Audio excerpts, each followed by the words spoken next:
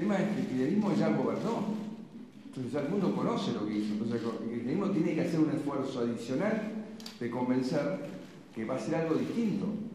Y ahí nosotros no podemos participar, lo mismo que eh, ellos tienen el peso que tienen en el votante argentino, porque gobernaron. Hay muchos votantes argentinos que quedó visto clarísimo que, que creen que ellos pueden mejorarle la vida y mejorar la economía. O sea, cosa que no creo, si caemos en la misma política del pasado, que va, a, haber una mejora, porque claramente no existen las bonanzas y las cosas que ellos utilizaron para generar, como buen gobierno populista, un, presente bueno a costa de un futuro hipotecado, que es lo que le damos. Eh, sí, presidente Pablo Gardiano de Radio Continental. Hoy hubo una fuerte devaluación del peso que se va a trasladar a la inflación, sin lugar a dudas. Eh, yo quería consultarlo con respecto a la política del Banco Central. Usted dijo que dio órdenes a su equipo económico. ¿Va a cuidar las reservas del Banco Central? ¿Qué va a hacer con la tasa? ¿La va a seguir subiendo? Y si nos puede detallar concretamente qué medidas va a tomar el, el gabinete económico, concretas. No, no le puedo detallar medidas concretas porque recién están trabajando. Hoy nos abrieron los mercados con la, noticia de la elección de ayer, que para ellos claramente fue una mala noticia, esperaban una noticia que convalidase que el cambio tenía más apoyo de los argentinos del que tuvo, y eso le daba garantías de continuidad a todas las políticas que hemos hecho. Ahora están en duda esas políticas, por eso insisto que hoy el kirchnerismo tiene muchísima más responsabilidad que antes del domingo, porque hoy la duda que vino es porque ellos no despiertan confianza, y la confianza cuesta, cuesta mucho conseguirla, y ellos la dilapidaron durante todos sus años de gobierno, entonces ahora tienen que recuperarla, porque si no esto nos daña a todos los argentinos, esto está dañando ya hoy a los argentinos, porque como vos dijiste, el proceso de baja de la inflación iba rumbo a, a uno algo en agosto, ahora se va lamentablemente a revertir por de vuelta esta inestabilidad del tipo de cambio, que ya lo conocemos. Entonces creo que la medida que ellos lograsen esa confianza que hoy no tienen en el mundo económico, ni local ni extranjero, hoy esa noticia hubiera sido, bueno, para uno u otro van a seguir con las mismas propuestas, no, pasa nada. Obviamente no fue así. Pasamos de que la, bolsa y todo subía como loco el viernes a que se desplomó todo el lunes antes de abril. Antes de abril ya se había desplomado todo. La verdad no, no recuerdo la última vez donde subió 350 puntos el riesgo país en, segundos. ¿no? Esto lamentablemente es un impacto para el empleo, para el desarrollo, para el crecimiento de todos los argentinos que la verdad eh, me, mata pensar que estamos ya creciendo, que con un resultado electoral positivo, que bueno, es culpa nuestra de no haber encontrado la forma de, lograrlo, hoy estaríamos hablando de una agenda de crecimiento con un tercer trimestre potente, con, con una inflación que tendría ya a niveles más bajos que en muchos años, pero en la realidad estamos en Soy nos estamos haciendo cargo, porque nosotros somos los que gobernamos, lo que le decimos al kirchnerismo es que actúe con responsabilidad, que realmente se haga cargo de, la expectativa electoral que generó para que eso no termine siendo en contra de, los argentinos. Sí, buenas tardes, presidente María Leonardo de Mitre. Eh, lo acaba de decir el senador Pichetto, digo, si esto no es una Cámara de transición, usted es el presidente hasta el 10 de diciembre, teniendo en cuenta después lo que pase en octubre. Bueno, pero eh, escuchamos todo el tiempo que mm, ayer lo dijo la eh, Lilita Carrió, eh, dijo que la adversidad no es mala porque a veces muestra la soberbia. Y la realidad es que usted, por lo que venimos escuchando, está digamos, tirándole la responsabilidad al espacio que resultó ser más votado, no por los mercados, sino por la gente, pero el presidente es usted. Entonces, la confianza no tendría que generarla desde el gobierno, más allá de la responsabilidad que le pide la oposición. Y lo otro, ¿se arrepiente de no haber desdoblado las elecciones en la provincia eh, y haber arrastrado a la gobernadora Vidal a esta derrota frente a Kichilov? Gracias. Somos un equipo y siempre ha elegido la provincia en conjunto con la nación. Entonces eso es una especulación en la cual queda en ese, nivel. El otro, eh, la verdad, es que yo no responsable a nadie más que a nosotros del resultado electoral que hemos tenido. O sea, dije de entrada, nosotros escuchamos el mensaje, acá hay un voto bronca al, digamos, devenir de una economía muy dura durante estos últimos tres años que se expresó en las urnas. Y esta es la realidad. Y lamento en el alma, y voy a, por suerte, la elección es en octubre, el 27, vamos a seguir explicando el por qué pasó lo que pasó y por qué ahora sí estamos mejor y estamos listos para crecer, porque tenemos esas bases, esos cimientos sobre los cuales los países crecen. Y confío en que eso nos va a llevar a una mejor elección y ir a la segunda vuelta. Lo, que no quita, lo que no quita, en otra situación normal, en Chile, si en, dos fuerzas se miden, los mercados no, no, pasan de la euforia a la locura y, escaparse porque gana uno u otro, ¿no? Actúan más o menos igual. Entonces, lo mismo pasa en la mayoría de los países del mundo. Lamentablemente acá, la situación es, como le expliqué muchas veces, es nosotros estamos intentando hacer algo que el mundo ya probó, que ya el mundo le fue bien, tanto en Chile, en Colombia, en Perú, en Brasil, en Uruguay, con reglas de juego, con instituciones, con democracia sólida, con libertades, y el kirchnerismo probó otro modelo que fracasó y que el mundo rechazó, y por eso generó lo que generó esta mañana. Entonces esa parte no me puedo hacer cargo. No estaríamos hablando de lo que pasó en los mercados si por haber ganado el kirchnerismo los mercados se hubiesen abierto a la suba. Entonces yo no, manejo los mercados. Los mercados son gente que toma decisiones acerca de si va a confiar o no va a confiar en los argentinos. Y hoy dijo, en esta propuesta por ahora no confiamos. Ojalá que el kirchnerismo se haga cargo y revierta esta situación. Miguel. No, quería decir que la complejidad del sistema electoral establece esta elección primaria y elecciones definitivas en octubre, eh, indudablemente marca un resultado, pero no hay una transición. La transición indudablemente significa que haya autoridades legítimamente elegidas, tanto presidente como vicepresidente, senadores y diputados, y eso va a ser el 27 de octubre. Eh, acá hay un ejercicio pleno del gobierno del presidente Macri. Eh, la transición ocurrirá entre el 27 de octubre y el 10 de diciembre. Así lo establece eh, los mandatos. por lo tanto, efectivamente hay un buen resultado del Frente con Todos en la primaria las elecciones definitivas son el 27 de octubre, donde es imprescindible que los ciudadanos vayan y voten para elegir las autoridades. No hay transición. Son los senadores, los diputados, intendentes, gobernadores que todavía no se definieron. Es una elección en la cual se está jugando mucho la Argentina y que todavía no sucedió. Entonces hay que ser cuidadosos, ¿no? Porque hoy todavía no sucedió la elección. Esto también fue una, una oportunidad para ver cuáles son las cosas que pueden pasar el día después. Entonces creo que es algo que podemos aprovechar todos. Aquí Alejandro Gómez para Radio Perfil. Habló sobre la inserción de Argentina en el mundo. Quería preguntarle por un lado si hoy eh, tuvo comunicación con un miembro del Fondo Monetario Internacional y por el otro lado eh, habló de que el proceso electoral no castigue a los argentinos. En ese sentido quería saber si se está estudiando algún adelantamiento de las elecciones para tener una transición no traumática teniendo en cuenta, por ejemplo, lo que sucedió con el final del gobierno de Roberto. Bueno, me parece que eso institucionalmente no corresponde, están previstos los plazos y estamos gobernando como corresponde, nos hacemos cargo de las dificultades que generó esta paso, porque ya nos hemos hecho cargo, el equipo económico está en el tema, el equipo económico además dialoga permanentemente con las autoridades del fondo para realmente entre todos ir generando las condiciones para proteger a los argentinos, que nuestra economía no sea más afectada aún de lo que ya venía afectada por este proceso electoral.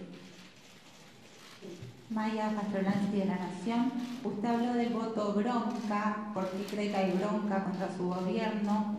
¿Cómo evalúa el voto de los sectores medios en todo el país y específicamente qué medidas se evalúa para esos sectores medios si está en evaluación una modificación del impuesto a las ganancias. Bueno, que para mí queda claro, ¿no? Que, un voto eh, que expresó años donde la situación económica ha sido muy difícil, muy difícil. Yo lo sé porque he hecho más de 260.000 kilómetros recorriendo el país en estos tres años y medio, más de 70 veces de punta a punta, Y los he visitado, los he escuchado y a todos lados donde iba decía que está duro, la estamos remando. Y la verdad, por eso entiendo, entiendo y, también agradezco a, los más de 7 millones y medio que nos acompañaron y que siguen, a pesar de que también han tenido sus dificultades. Y espero también que aquellos que, votaron el kirchnerismo o votaron otras alternativas, pero no quieren volver al pasado o no fueron a votar, porque mucha gente todavía no fue a votar. Entonces también estoy convencido que en octubre es una gran oportunidad para que todos pensemos otra vez si realmente en el pasado vamos a encontrar algo positivo o si realmente todos podemos acordar, una mayoría, que el futuro de la Argentina pasa por seguir, que seguir con esta agenda de cambio, integrándonos al mundo y basándonos en fortalecer nuestra democracia, que por ejemplo incluye respetar los plazos electorales que uno tiene y, los sistemas electorales, porque esta elección, como decía eh, Miguel, no sucedió. ¿no? Entonces, es una elección en la cual vivimos en un mundo donde la gente vota de una manera un día y de otra manera otro día, como pasó con las encuestas, porque los encuestadores le erraron porque finalmente la gente toma su decisión sobre la hora. Eso es lo que explica digamos, el error tan grande en todas las encuestadoras. Y esto puede de vuelta pasar perfectamente en octubre y para eso vamos a trabajar, porque la verdad lo hacemos además porque estamos convencidos, estamos convencidos que, que si seguimos haciendo lo que estamos haciendo, por más que nos haya costado tanto y, que hayamos tenido que poner tanto, nos espera un gran futuro. Y estamos convencidos también que si volvemos al pasado, después vamos a tener que volver a empezar de cero todo, porque vamos a, perder todos los esfuerzos que hemos acumulado estos tres años y. Roberto Lisandro. Hola, Roberto. Usted acaba de decir que el 27 de octubre va a ser distinto. Eh, la pregunta es para usted y para el candidato a vicepresidente. ¿Cómo van a revertir la gran ventaja que le ha sacado ayer Alberto Fernández en dos meses y en caso contrario va a cambiar la política económica? Y la otra pregunta muy cortita, si va a haber cambio de gabinete. Gracias, muy amable. Estamos gobernando, ¿sí? Y la elección está ahí nomás. Los cambios de gabinete se hacen cuando uno pasa una elección, va a comenzar un nuevo periodo, ¿no? faltando tan pocas semanas, improvisadamente. Yo soy una persona que cree mucho en el valor del equipo y no tiendo a hacer cambios por cuestiones simbólicas, sino porque realmente pienso que pueden ayudar a que las cosas funcionen mejor. Y estamos convencidos, acá con Miguel, que, que espero que acorte algo también, que es un debate que está abierto, que los argentinos somos gente que todos los días nos cuestionamos las cosas, que todos los días repensamos qué es lo que nos conviene y qué es lo que no, que hoy lo expresamos con libertad.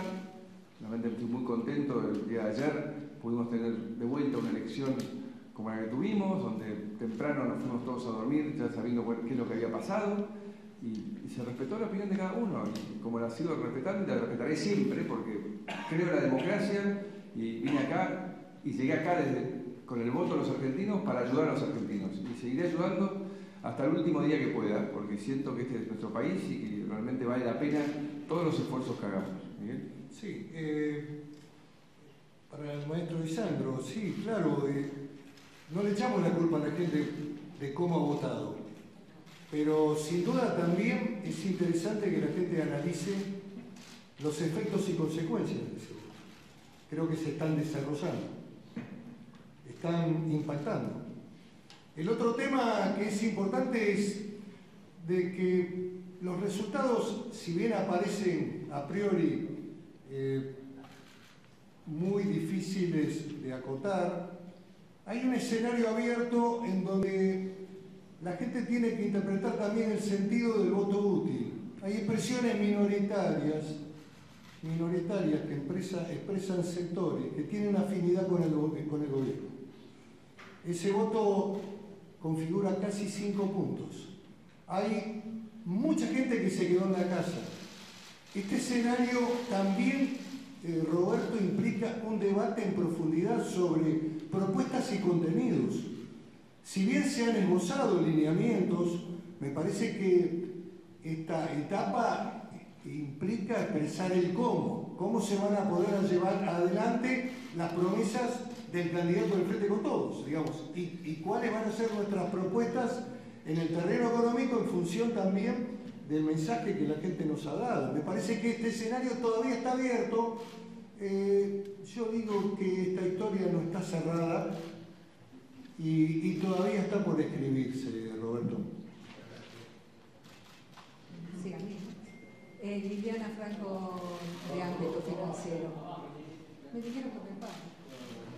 Eh, la pregunta es concreta. Usted está señalando que hoy los mercados manifestaron inestabilidad fundamentalmente porque eh, la propuesta del kirchnerismo asusta y por eso subió el dólar, por eso subió el viejo país. El precandidato presidencial Alberto Fernández dijo hace minutos en declaraciones que no era su responsabilidad, que el gobierno está a cargo. El punto es, si el kirchnerismo no comprende este mensaje que tiene que dar señales hacia los mercados, la situación de inestabilidad financiera puede continuarse. En ese caso, señor presidente, ¿qué piensa hacer? Ya estamos haciendo. Hoy el Banco Central estuvo en el tema, ocupándose, el ministro de Economía lo mismo. Nosotros nos vamos a hacer cargo. yo no voy a dejar solo a los argentinos en este tema. Igualmente, por más que nosotros lo contengamos, exitosamente durante todo el proceso electoral, si se confirmase que el kirchnerismo gana la elección en octubre o en noviembre, el problema va a estar. Esto es solamente una muestra de lo que va a pasar. Este problema va a estar. O sea, lo que marca esto es, por el pasado, hay un montón de gente que decide que no deja su eh, dinero en este país, que se va a este país es, tremendo lo que, lo que puede pasar. Entonces lo vengo diciendo hace tres años y medio, no se lo digo desde ahora, ¿no? se lo dije siempre. No podemos volver al pasado porque el mundo ve eso como el fin de la Argentina. Entonces tenemos, ellos tienen que convencerlos que aprendieron de lo que pasó antes. Y, no veo que hagan ningún esfuerzo. Siguen diciendo las mismas cosas y diciendo que a ellos no les importa y que ellos lo van a manejar de otra manera. Pero el mundo cambió. O sea, el mundo no es el mismo que tenían ellos hace unos años atrás. Hoy la Argentina, aislada del mundo, no tiene futuro. Nosotros hoy necesitamos estar conectados al mundo. Y con ello lo que nos pasó hoy, porque ganaron, es que nos desconectaron un poco. ¿eh? Se fueron una cantidad de gente, se fue. Se fue. ¿Por qué caen? Porque se van. Porque venden a cualquier precio y se van. Entonces las empresas nuestras se pierden valor. Entonces eso, si pierden valor, pierden capacidad, pierden la capacidad de crecer, de crear empleo. Y esto es lo que pasa. O sea, la verdad es que Siempre he dicho que mi sueño es que el día que yo termine hubiese dos propuestas que compitan y que generen el mismo nivel de, credibilidad frente al mundo entero que quiere que la Argentina sea parte de ese mundo. ¿no? Por la, ventaja de hoy es que hoy hay mucho interés en la Argentina. Hay mucha gente, como ustedes han visto, nos han visitado, han venido, están, han hecho cosas, ¿no? Vaca muerta, energías renovables, el tema de el agro, el turismo, están sucediendo cosas. Pero toda esa gente, si no hay un gobierno que garantice estabilidad en la regla de juego, que garantice institucionalidad, bueno, pasa lo que nos pasó hoy. Entonces ellos tienen que asumir eso. Yo les digo, tienen que hacer una autocrítica y decir, tenemos un problema, lo vamos a resolver, porque queremos que los argentinos nos acompañen y no perjudicar a los argentinos porque el resto del mundo no nos acompaña. Esto es lo que deberían ellos hacer. Juan Pablo Pérez, presidente de SMC Noticias. Eh, bueno, ninguna persona que ocupe su cargo obviamente quiere fracasar. Eh, usted cuando habla siempre toca el tema de la pesada herencia. Bueno, el senador Miguel Ángel Pichetto conoce ese entramado. es una persona que puede colaborar para desentrañar esa pareja. Eh, lo que yo le quiero preguntar es sobre el tema de bonos, mercados, todo lo que está aconteciendo y que preocupa a un sector mínimo de la de la población, de la ciudadanía. ¿Qué le dice usted a los argentinos que en todo este tiempo, eh, muchos de nosotros estamos incluidos, ha tenido graves problemas económicos? Usted muchas veces, ha dicho, agradecido inclusive, lo hemos escuchado un montón de veces diciendo agradece el esfuerzo que hemos hecho, pero usted entiende que ya no podemos más esfuerzo, hay muchos que estamos eh, con la soga al cuello, como se dice en el barrio.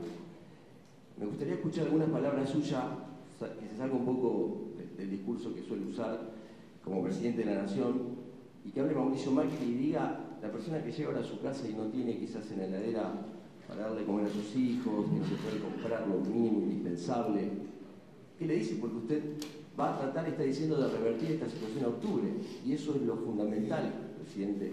Eh, Está perfecto, te entiendo perfecto. ¿Qué dice? Yo le digo, le digo que yo he estado, he estado en la casa de muchos argentinos que tienen ese problema. Y lo, he entendido y lo he visto, pero este proceso de construcción económica lleva un tiempo, lamentablemente, no, no se hace de un día para el otro. Para generar que una persona pueda mejorar, hay que generar que haya empleo. Para generar que haya empleo hay que generar que alguien quiera invertir en abrir una planta, una fábrica, un comercio. Y para eso hay que tener un conjunto de reglas e instituciones que garanticen que el que lo haga no se va a ver perjudicado. Y eso es lo que fuimos construyendo. El proceso de ahora, estar exportando récord de carne al mundo. Y llevó tres años y medio. Entonces ahí hay decenas de miles de personas que tienen un trabajo, que posiblemente estaban en la situación que vos me decís, y hoy que ya no están, pero obviamente no incluye a todos los argentinos, que hay que seguir haciendo eso con muchos otros productos que sí tenemos, que sí podemos hacer, que sí sabemos fabricar, que sí sabemos producir, para que cada vez más argentinos se incorporen a esa posibilidad de trabajar. Y ese es un proceso. La Argentina viene creciendo en su producción, en su exportación, pero claramente lo que muestra este resultado es que no llegó a todo el mundo. Hay 7 millones y medio de argentinos que entendieron, algunos igual lo están, votando a pesar de que está costando, y otros que todavía sienten que no, que, no llegó y que dudan si va a llegar o no. Y esa duda los llevó a votar por otras alternativas que no fueron del gobierno. Pero lo que sí tienen que saber es que lo sé más que nadie, ¿no? insisto, no, ha habido un, un, presidente que haya recorrido tanto el país como lo he hecho yo. Y lo he hecho para escuchar y para estar y para entender, porque estoy acá para ayudar, no vine para otra cosa. A mí lo único realmente me convocó a la política es ayudar a que las cosas en la Argentina cambien para mejor, replicando experiencias, no de gente que vive muy lejos, los chilenos, de los peruanos, de, los uruguayos, que les ha ido mejor haciendo las cosas que vienen haciendo hace muchos años y que hemos empezado a hacer acá. Y que en muchos casos nos ha ido bien, todavía obviamente no ha impactado sobre una mayor cantidad de argentinos, pero con tiempo esto se va a lograr. Lo que hay que hacer es como decía el gaucho el otro día, hay que terminar de cruzar el río. Si no cruzamos el río de una vez por todas, si volvemos para atrás, después vamos a tener que volver a empezar de cero porque el río hay que cruzarlo. Y este es el desafío que tenemos los argentinos. Nunca estuvimos tan cerca de cruzar este río y ahora, obviamente, en la elección de ayer hemos puesto de vuelta una duda de querer volver a atajos que en el pasado no, se, han demostrado que no funcionan, que no funcionan. Última pregunta. Quería completarle. Tu, mensaje y el malestar forma parte de la construcción del voto. El presidente está analizando esto, ha escuchado este mensaje que lo planteado. Se ha expresado en las urnas y hay que tratar de, tenerlo en cuenta. Hay sectores, sectores asalariados, trabajadores, clase media, pymes, que indudablemente reflejan tu visión. Sí, Emiliano Russo del Diario Popular. Eh, lo que le quería preguntar si he hecho autocrítica por las condiciones de vulnerabilidad que tiene el país para verse afectado por distintos fenómenos y que se evalúe el peso eh, de tal forma que, bueno, en poco más de un año y medio pasó de 18 a, bueno, hoy 55. Esto provoca inflación y, bueno, obviamente un deterioro en el poder adquisitivo de, muchas personas que este domingo decidieron no acompañar a, Juntos por el Cambio. Y por otro lado, eh, si teme que en caso de que el 27 de octubre se confirme la victoria de Alberto Fernández, no poder terminar el mandato el 10 de diciembre. Gracias. Estamos acá gobernando y lo hemos hecho en las peores condiciones, en las peores condiciones. Cuando arrancamos, no solo teníamos cepos, estamos en default, había menos 5 mil millones de reservas en el Banco Central netas, estábamos aislados del mundo y hemos ido revirtiendo un montón de esos temas, muchas de esas vulnerabilidades que vos decís las revertimos y otras obviamente todavía no hemos podido.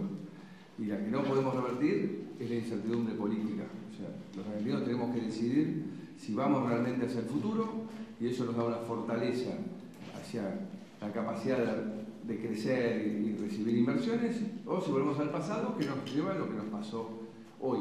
Así que estamos trabajando Tal vez, no sé, otros lo hubiesen podido revertir más rápido estas vulnerabilidades, nosotros hicimos todo lo que ha estado a nuestro alcance, siempre en minoría, y creo que hemos hecho igual muchas transformaciones en Argentina. Hoy, insisto, tenemos energía que no teníamos, tenemos infraestructura que no teníamos, tenemos conectividad que no teníamos, tenemos fuerzas de seguridad que funcionan mejor, tenemos más de 200 mercados abiertos para el mundo, tenemos relaciones con todo el mundo, abiertas, positivas, constructivas, nos han visitado todos, no solo en el G20, sino permanentemente. O sea, hoy la Argentina está en una posición de desarrollo y, de crecimiento hacia el futuro que no tenía hace muchos, muchos años. Pero tenemos que confirmar el rumbo. Y el 27 de octubre la gran oportunidad y, como decía Miguel, la elección es el 27 de octubre. Confío en que vamos a revertir este mal resultado de ayer y que vamos a tener una elección más pareja en, en octubre, que nos va a permitir una segunda vuelta en la cual la mayoría que no queremos volver al pasado y queremos fortalecer nuestra democracia, nuestra convivencia, va a acompañarnos. Muchas gracias y estamos en contacto.